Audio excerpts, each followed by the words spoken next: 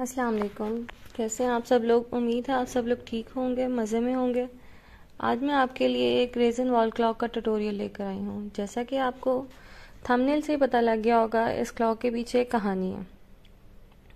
कहानी है ऐसे कुछ कि मैंने इस वॉल क्लॉक की बेस को ब्राउन में रेडी करके रखा था। और आप देख सकते हैं, मैंने इसका एक क्लियर मिक्सचर बनाया है। उसको मैंने थोड़ा थोड़ा ना पोर्शन मैंने दो कप्स में ले लिया एक में मैंने गोल्ड फ्लोटिंग डाला और एक में मैंने वाइल्ड पर्ल डाला मेकअप पाउडर और बाकी जो ज़्यादा वाला मिक्सचर नज़र आ रहा है ना, उसमें मैंने ब्राउन शेड डाला. देखें ये सारे काम कितनी जल्दी जल्दी मैं कर रही हूँ. पर आपने जल्दी जल्दी नहीं करना. इसको स्लो मिक्सिंग के साथ बनाना है. मैंने तो जस्ट वीडियो में फास्ट फॉरवर्ड लगा के, ताकि आप लोग भी जल्दी जल्दी से सीख जाएँ. अच्छा तो हुआ कुछ यूँ कि मैंने सोचा था मैं इसको ब्राउन और गोल्ड के साथ बनाऊँगी. बेस ब्राउन और उसके साथ मैं ब्राउन गोल्ड लाइंस ड्रॉ करना चाह रही थी मार्बली इफ़ेक्ट के साथ। मैंने अच्छे से मिक्स किया और मैंने इसको पोर कर दिया।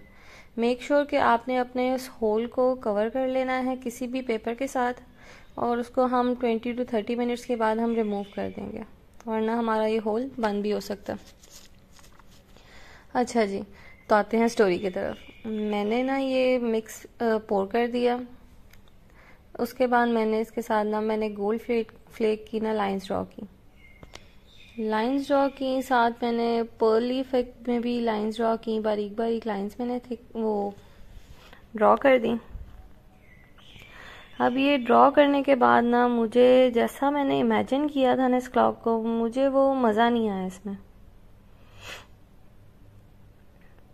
ये देखिए मैंने अपना सारा अच्छे से रेजन का मिक्स पोर कर लिया, कुछ भी बचना नहीं चाहिए। ये लाइंस भी ड्रॉ की।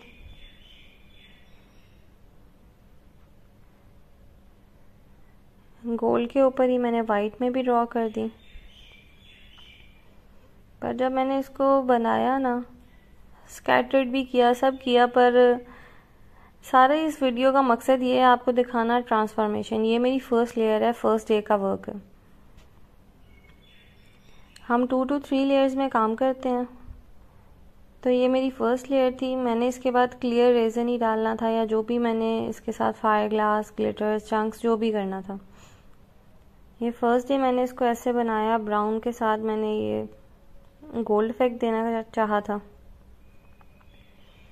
हीट गन की, सब किया। पर मुझे वो मज़ा नहीं आया जो मैंने सोचा हुआ था ना अपने दिमाग में, वो मज़ा नहीं आ रहा था मुझे इसके साथ। मैंने फिर भी इसको करके मैंने वन डे छोड़ दिया, क्योंकि वो तो ज़रूरी था। नेक्स्ट डे फिर मैंने, अभी आप देखेंगे कि कैसे ये गेम चेंज हो जाएगी इसकी। इस क्लॉक ने क्या से क्या बन जाना है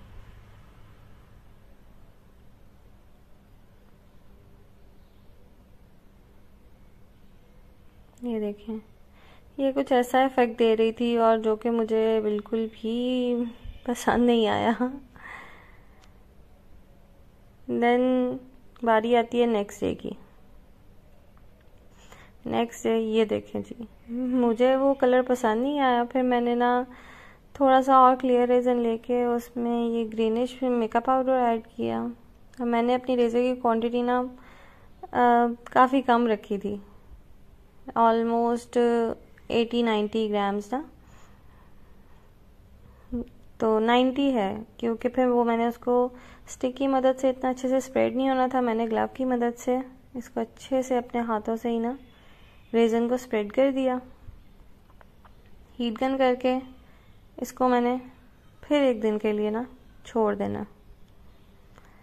सारी क्लॉक की गेम यहीं पे चेंज कर दी मैंने।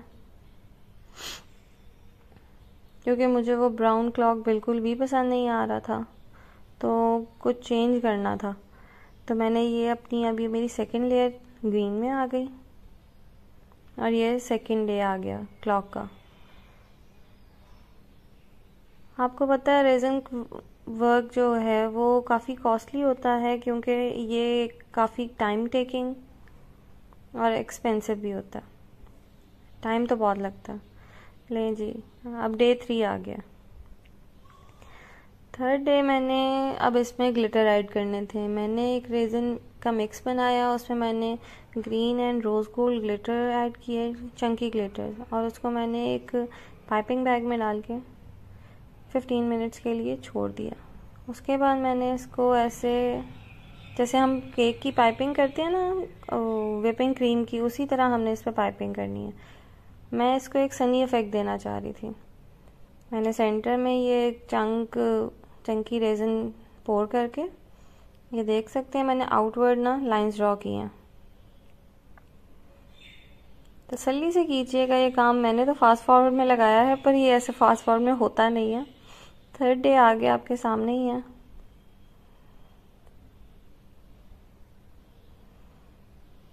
ये देखें, ऐसे ना आउटवर्ड हमने इसको सनी इफेक्ट्स आएगा। और ये इफ़ेक्ट बहुत प्यारा लगता है। आजकल मौसम चेंज हो रहा है तो रेज़न ज़रा जल्दी ड्राई हो जाता है। आप इसको टेन मिनट्स भी देंगे ना, ये देखें मेरा तो बस ज़ाया गया बाकी जितना निकल सके, वरना मैं इससे भी ज़्यादा कर सकती थी। रीज़न में यही है, जैसे आपका दिल करे आप, जो आपके माइंड में आप उसी टाइम बना सकते हैं। इसको भी छोड़ दिया थोड़ी देर के लिए। देखें आफ्टर थर्टी मिनट्स हमने फिर एक लेयर रेजन का मिक्स बनाना है। ये थर्ड लेयर आ गई है। और इसको मैंने पूरे बॉल क्लॉक पे ना स्प्रेड कर दिया। अब ये भी कुछ 90 या 110 ग्राम्स है। तो इसने भी स्टिक से तो इतने अच्छे से स्प्रेड होना नहीं था। कोशिश करें स्टिक से कर लें। स्टिक से नहीं होता तो हाथ में ग्लव चढ़ाएँ और कर दें स्प्रेड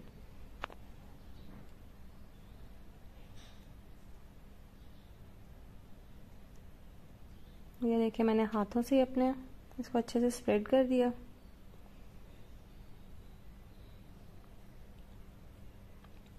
इसको स्प्रेड करने के बाद अब इसके कॉर्नर्स पे भी कुछ इफ़ेक्ट देना था तो मैंने इसके कॉर्नर्स पे ना ग्लिटर और फायर ग्लास लगाया।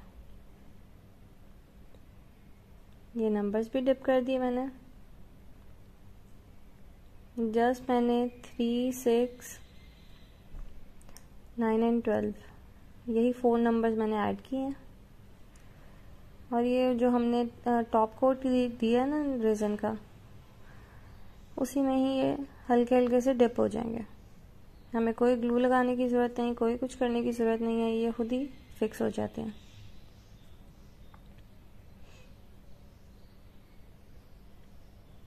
ये देख सकते हैं, ये हल्के हल्के से डिप खुद ही हो गए और ये अच्छे से खुद ही फिक्स हो जाएँगे। उसके बाद कॉर्नर्स पे ग्लिटर और फायर ग्लास का फेंक देना है हमने।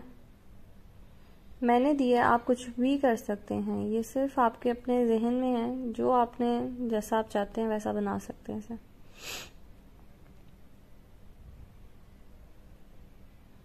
फायर ग्लास ऐड कर दिया।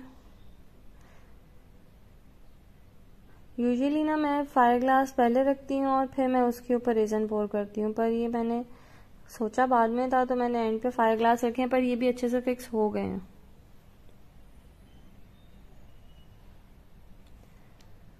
इसके बाद मैंने फिर इनको एक दिन के लिए छोड़ देना और फिर हमने एंड इसको फिनिश की तरफ़ जाना है, हमने अपनी क्लॉक की ना।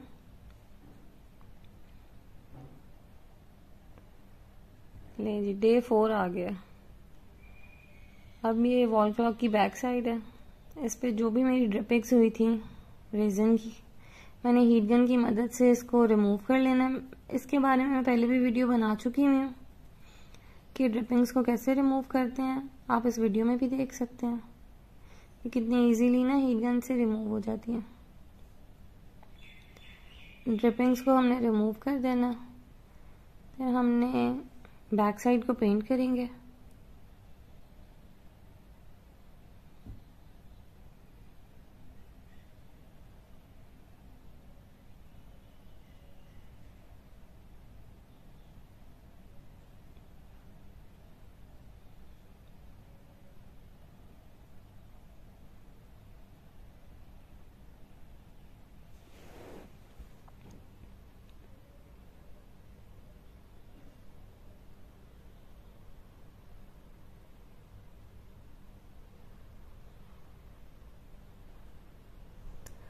ले जी हो गई। अब हमने बैक साइड को पेंट करना है। इसमें भी कहानी कुछ यूँ हुई कि मैंने पहले ग्रीन कलर दिया। पर ग्रीन वो मुझे फ्रंट के साथ मैच होता अच्छा नहीं लग रहा था। फिर मैंने इसको कहा, चलो बैक को ब्लैक में कर देते हैं। ब्लैक तो सबके साथ चल जाता। है ये भी मैंने हाथ से ही पेंट किया है। सारा हैंड वर्क है। अब मैकेनिज्म की बारी आ गई। ये भी मैं पहली वीडियो में सिखा चुकी हूँ, मैं इसके बारे में भी वीडियो बना चुकी हूँ। हमने फटाफट जो मैकेनिज़्म और नीडल्स अपनी इंसर्ट कर लेनी है इसमें। और जस्ट बैटरी लगानी है और हमारी क्लॉक रेडी है। सबसे पहले hour hand then minute hand और फिर सेकंड्स वाला। इनको अच्छे से फिक्स किया।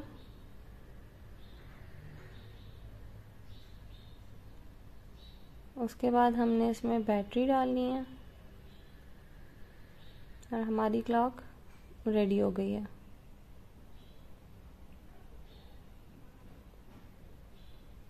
ये देखें हमारी क्लॉक चलना शुरू हो गई है। अच्छा तो आप प्लीज़ काइंडली मुझे बताइएगा कि आपको ये कैसी लगी है क्लॉक? एक कमेंट ज़रूर दीजिएगा। वीडियो पसंद आई हो तो लाइक, सब्सक्राइब और शेयर ज़रूर कीजिएगा। और बेल आइकन को प्रेस कर दीजिएगा ताकि आपको नेक्स्ट आने वाली वीडियोस इंटरेस्टिंग वीडियोस का नोटिफिकेशन मिलता रहे। चलिए, मेरी तरफ़ से अल्लाह हाफिज़। अपना बहुत ख्याल रखिएगा।